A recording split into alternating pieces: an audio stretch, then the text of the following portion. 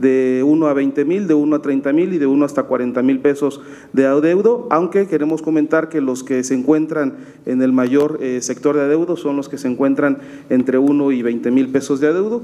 Con este modelo lo que pretendemos es entregar la placa por instrucciones del señor gobernador en el primer pago inicial, que podría ser eh, con un pago inicial de 4.711, si debes este, hasta 20 mil pesos, y bueno, las parcialidades podrían quedar eh, de 4, 6, 8 y 10 meses, por eso la vigencia del programa finaliza el 31 de agosto para que pudiera tener acceso hasta cuatro parcialidades, que sería septiembre, octubre, noviembre y diciembre.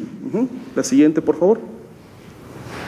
Bueno, este, ¿cuáles serían básicamente los requisitos? Contar con, con su verificación vehicular vigente, un escrito libre de solicitud, eh, la garantía del interés fiscal, que sería la factura, identificación oficial vigente, comprobante de domicilio y, bueno, presentar los adeudos que tenga, en este caso, el vehículo, que pudiera ser desde uno hasta cinco años.